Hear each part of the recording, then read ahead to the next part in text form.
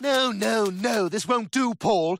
You can't just have Snuggly Jeff magically brought back to life by a child's wish. It's insulting to the reader. What do you mean? Well, it's just bad storytelling. Let's see, how can I explain this to you? Did you ever see the movie Contact? Yeah? So, like, they spent a trillion dollars building this mile high space machine, and Jake Busey blows it up. So now they're all like, oh no, we can't use the space machine.